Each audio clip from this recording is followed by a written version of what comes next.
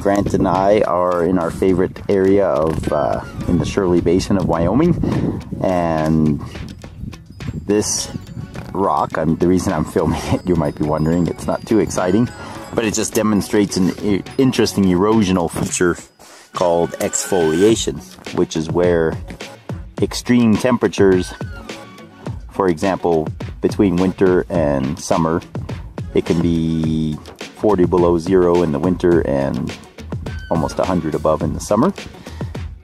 And then even even in the single day, the temperature can really change a lot. You can see how this rock is just completely peeling away.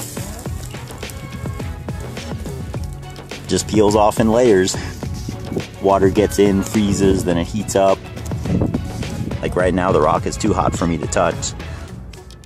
Burns your hand, you know. Then in the winter, it's the opposite. So, anyway,